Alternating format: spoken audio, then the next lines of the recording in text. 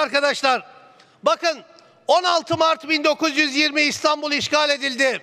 Meclisi mebusan Nisan ayında kapatıldı. Bu meclisler ve bundan önceki meclisler zaman zaman kapatıldılar.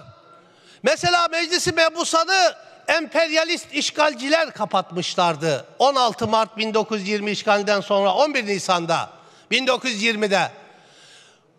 Türkiye Büyük Millet Meclisi Gazi Meclis ünvanını alırken dünyadaki ve kendi tarihimizdeki parlamentolardan farklı bir çıkışla ortaya çıkmıştı. Başka bir özelliği vardır bu meclisin. Örneğin Meclisi Mebusan bütün demokratik parlamentolarda olduğu gibi padişahın, kralın yetkilerini sınırlamak için kurulmuştur.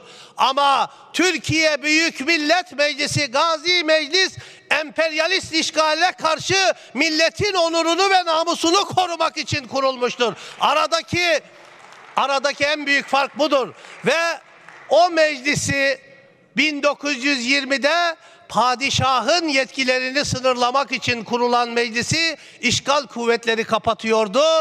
Bu milletin Ulusal Kurtuluş Savaşı'nı vermek üzere kurulan Türkiye Büyük Millet Meclisi'ni, Gazi Meclisi tarihte tek milli mücadelenin öncüsü olan meclisi milletvekillerinin oylarıyla kapattırmanın projesini görüşüyoruz. Karşı çıktığımız şey budur.